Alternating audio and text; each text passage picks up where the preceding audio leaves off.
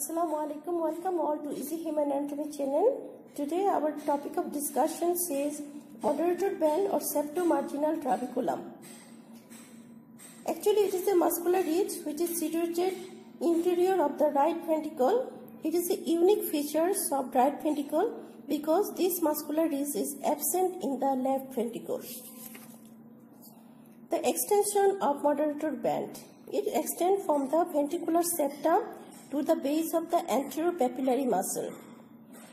Papillary muscle is the one of the variety of trabeculae carneae which present within the heart and there is a three papillary muscle present in the right atrium, anterior, posterior and septal.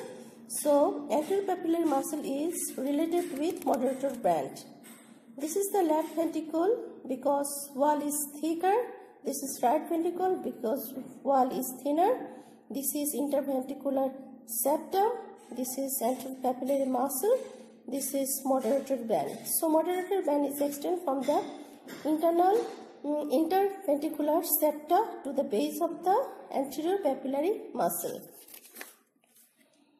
One of the importance of moderator band is convey the right branch of AV bundle, bundle of His, a part of conducting system of the heart. Conducting system is formed by the special type of myocyte.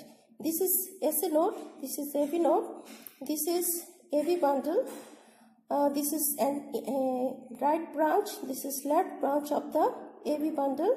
So left branch is directly ramified in the wall of the left ventricle but right branch is passes through moderator band and then it's ramified in, in the right ventricular wall. Now the functions of moderator band. It prevent overdistension of the right ventricle of the heart. This is interior of the heart. This is interventricular septa. This is right ventricular wall. This is left ventricular wall. This is right ventricle because the wall is thinner than the left ventricle. This is anterior papillary muscle and you see this is moderator band because from the base of the anterior papillary muscle a muscular is extend up to interventricular septa.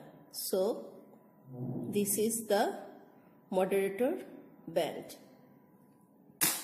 For watching, if you like this video, please press the like button and please subscribe my channel.